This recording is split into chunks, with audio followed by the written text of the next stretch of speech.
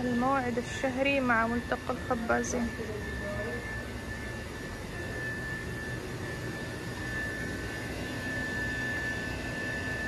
يا جماعة كله صار جاهز. كله صار جاهز. ما حد تعب عمره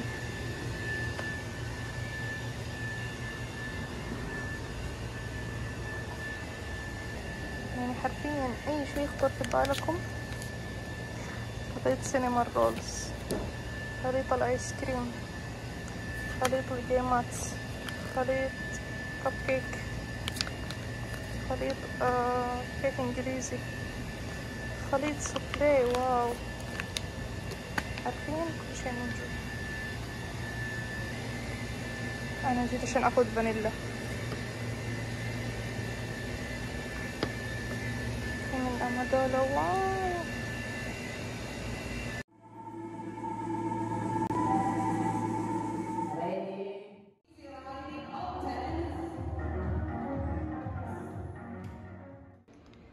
غداء اليوم؟ سلطة خضراء. وفخاد الدجاج بالبافيلو صوص. صراحة ما عندي أجنحة ولا أحب الأجنحة فحطيت الصوص على الفخاد أتوقع تطلع لذيذة. جيت أخذ ريحان ما شاء الله تبارك الرحمن فريش.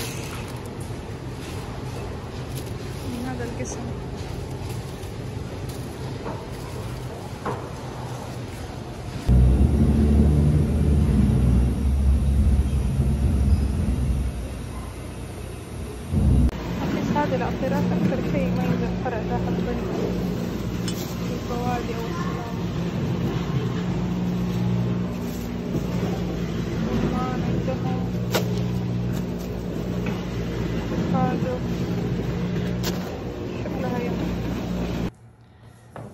شبرت باي يا دمية جربي جربي بسم الله نسميها شبرت باي كوتا هي. كوتا. كوتا. نروح عند الكوتش وناكل كوت؟ مم. فطوري المتواضع جدا. بيض حطيت مع جبنة بيض وجزر و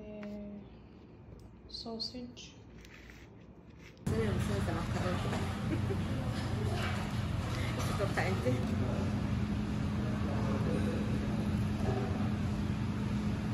بالي اعرف إيش أسوي طيب. اسبانيا فقيره ما عندهم رواتب ما عندهم فلوس.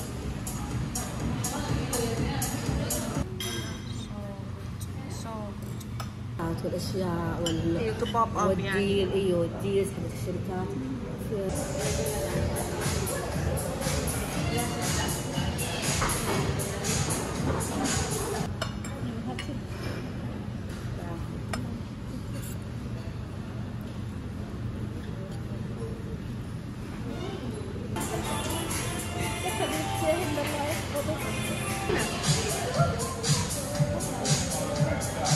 اللعب والضحك.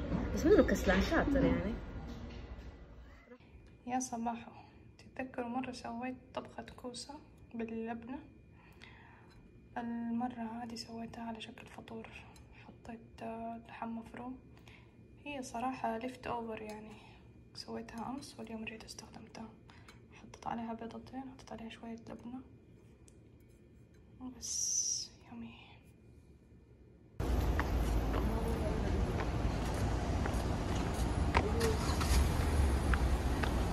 ਸਕਦਾ ਮੈਂ ਕਿਹਾ ਹਜੇ ਵਾਪਸੀ ਗਿਆ ਹੀ ਨਹੀਂ।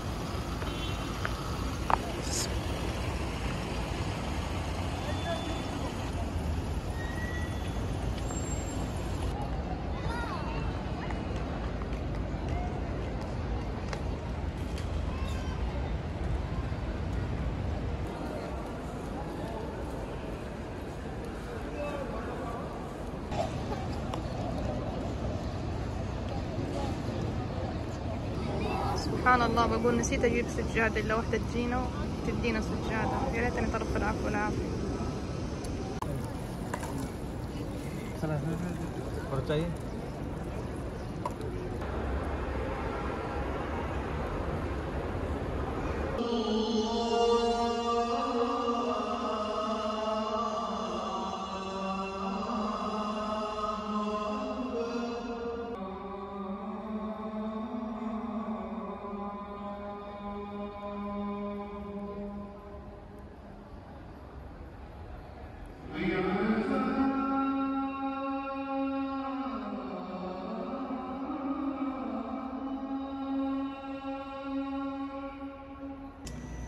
عندي محاولات إني أنا أسوي صامولي gluten free. حطيت قشور ال psyllium مع موية مغلية شوفوا كيف ال- البخار. وبخلطها لين ما هذه تصير آه، كده زي سلايم.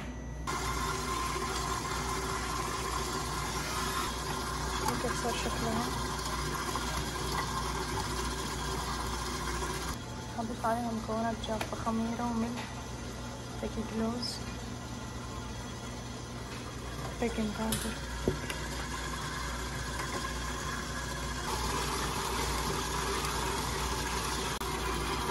بعد كل شوية أضيف موية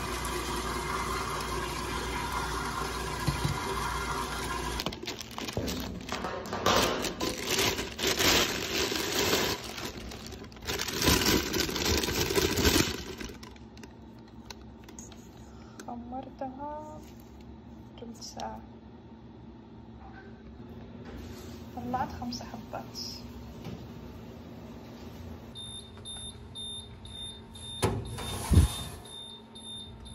إن شاء الله إنهم مظبطين إن شاء الله.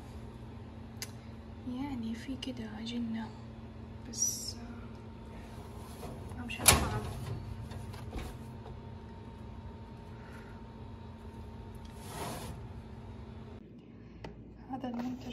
المنتج النهائي صامولي باقي أدوق حجربها مع الوينز خد شوية من الصوص let's see how it goes فاكس يلا هلا هلا يا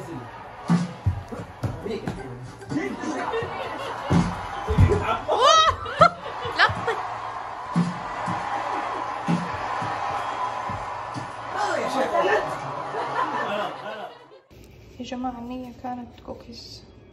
طلعت scones. scones بالتمر. بس والله لذيذة يعني. كحلة طيب يا أهلا وسهلا. كيف حالكم؟ طيبين. حابة أنقل لكم تجربتي عن آخر كتاب قريته. صار لي فترة من بعد ما قريت الكتاب هذا أتنقل بين الكتب بس ولا واحد ختمته بس هذا قريته من البداية للنهاية. الكتاب اسمه الإعتذار المؤلفة الأمريكية إيف إنسلر. فكرة الكتاب إنه أو قصة الكتاب إنه إيف كانت في علاقة سامة مع والدها أو بالأحرى والدها كان شخص نرجسي وأذاها لدرجة إنه يعني أذاها جنسيا كان الرواية مليئة بال- بالعنف ال- الأسري تمام فمات الأبو لدرجة يعني ألين ما مات حرمها من الميراث يعني. فبتعبر إنه هو حرمها من كونه أب في حياتها وفي في حياته وفي ممات في مماته كمان. ففكرة الكتاب للناس المهتمين بالوعي والسيكولوجي إنه هي إيف عانت في حياتها مرة كتير سواء في علاقاتها سواء في أهدافها سواء في أي شيء كانت تحاول توصل له في الحياة يعني.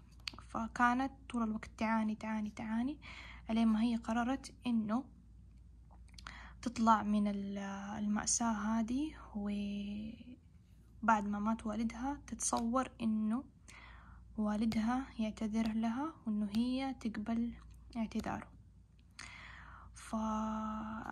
فالفكرة في الكتاب إنه ال- الكتاب كله رسالة اعتذار يعتذر فيها الأب. لإيف إنه والد إيف يعتذر لإيف عن كل شيء سوى سوى لها أو كل عن كل ذكرى سيئة هي تتذكر آه، لوالدها فللي مهتمين في مجال الوعي واللي أو لو لسه دوبكم بادين في مجال الوعي آه هذه نقطة جدا جيدة إنكم أنتوا تبدأوا تصلحوا علاقتكم بأمكم وأبوكم حتى من بعد ما حتى لو هم مش موجودين على قيد الحياة يعني. فالتشافي مع الأب انطرح في هذا الكتاب آه، التشافي مع الأم آه، أو الوالدين عموما. موجود عنهم مواضيع مرة كتير في, في اليوتيوب والتليجرام وغيره. فأنا أنصح أي أحد تايه في عالم الوعي ومتخبط ومش عارف من فين يدخل. أدخله من تشافي العلاقة مع الوالدين سواء كانوا حيين أو ميتين. الكتاب هذا كمان أحسه بداية جدا جيدة. صراحة أتذكر إني أنا كنت أقرأ الكتاب وكنت أبكي مرة كتير هو ايموشنال لأنه العنف اللي صار للبنت صار لها من هي صغيرة. أتوقع لسه كمان ما دخلت المدرسة. والتطورات اللي صارت في شخصيتها بسبب العنف اللي صار. يعني أنا صراحة ما تحملت يعني بس كملته لأنه الكتاب جدا جدا جيد.